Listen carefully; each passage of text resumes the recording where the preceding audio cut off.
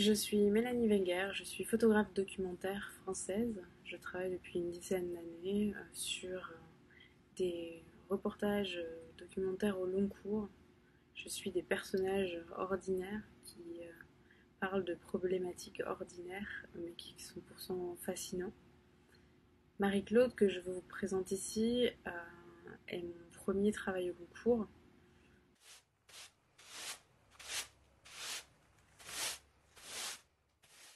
Je l'ai rencontré en 2014 sur le bord d'une route, euh, d'une voie sans issue.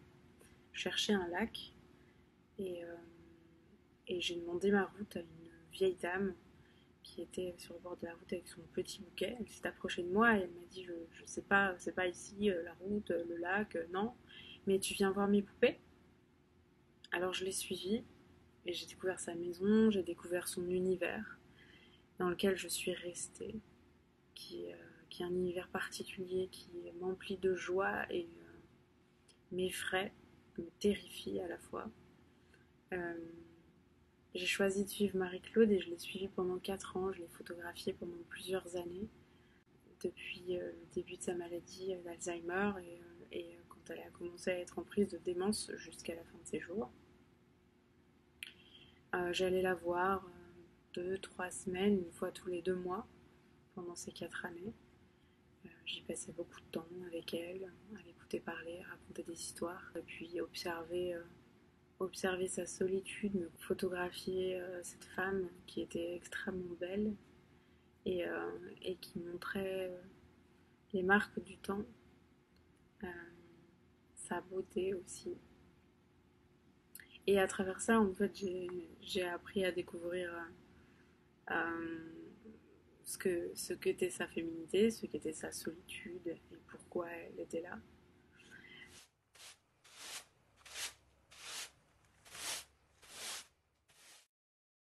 Marie-Claude vivait euh, dans un village fantôme qui a été complètement vidé de ses habitants, dans le Finistère, dans les monts d'Arrêt. Elle vivait dans une toute petite maison qui était la maison de son mari, dans laquelle elle a vécu euh, depuis son mariage et jusqu'à la fin de sa vie d'une voie sans issue. Euh, elle avait donc épousé euh, Albert, son mari, à 17 ans. Il avait presque 20 ans de plus qu'elle. Et depuis son mariage, elle vivait avec lui dans cette petite maison. Il était bûcheron. Et euh, la séquestrait dans la maison, ne la laissait pas sortir. Elle n'avait aucun accès à l'argent pendant, la majorité de son mariage. ils n'ont jamais eu d'enfant. Ça a été apparemment un choix, en tout cas, du mari.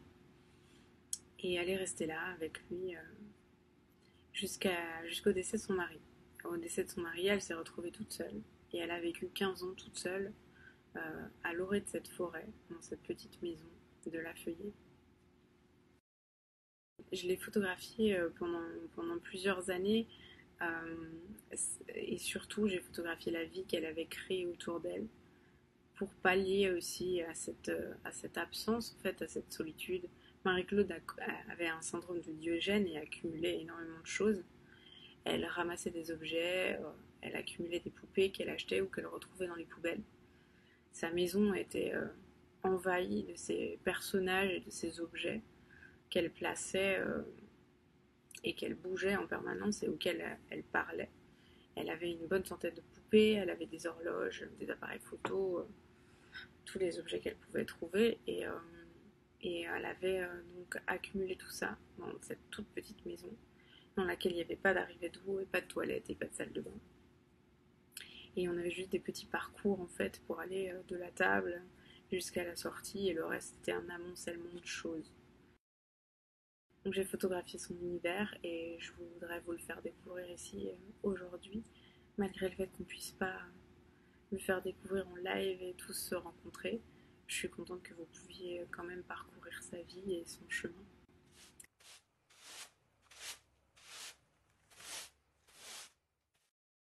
En 2017, j'ai eu la grande chance d'obtenir le prix HSBC euh, pour la photographie, ce qui m'a permis de réaliser euh, une monographie qui s'appelle Marie-Claude et que Marie-Claude a pu voir euh, quand elle a été publiée. Elle était très heureuse de cette publication. Elle posait beaucoup de questions et elle demandait aussi quelles étaient les questions des gens qui découvraient son existence. Euh, elle était très curieuse par rapport à ça. Et finalement, quelques mois avant sa mort, j'ai eu la chance de pouvoir présenter l'exposition dans le Finistère, très proche de chez elle.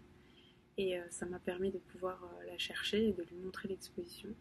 Marie-Claude ne pouvait pas faire plus que 30 minutes en voiture, mais l'exposition était suffisamment proche. Et elle a pu se balader parc du lycée où étaient exposées ses photos. Et elle a pu se découvrir en photographie euh, en exposition et ça a été très impressionnant pour elle. Euh, et en même temps, euh, elle était ravie. Je, pouvais lire sur son visage cette joie d'avoir pu voir ça. Et elle était, c'était son dernier contact avec le monde. Elle avait très peu de contact avec le monde extérieur, à part moi et une personne qui lui apportait à manger. Donc je suis assez contente de pouvoir vous la présenter. Euh, elle est décédée il y a un an, euh, mais voilà, à travers ses photographies, elle montre encore euh, sa solitude et, son esprit aiglerie. Voilà, bonne découverte.